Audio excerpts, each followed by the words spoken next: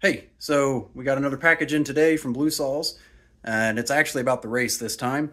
Uh, pretty excited because they are donating the fastest in the hollers grand prize for us. That's the fastest overall most points of the day for the Appalachian Saws Shootout. Check out that bad boy. Brand new pre-built 366. And I asked for this one specifically because that's the new clone for uh, Sawfest this year. And I know a lot of guys are going to be wanting to get them. So if you do good, here's your chance to get one already there for free. So really big thanks to those guys over Blue Saws. They're awesome. I love working with them. And uh, I'm really thankful they donated this prize.